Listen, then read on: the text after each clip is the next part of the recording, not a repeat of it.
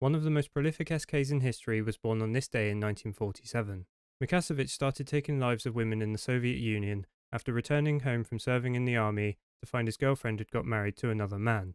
He had originally planned to take his own, instead, we saw a series that lasted 14 years.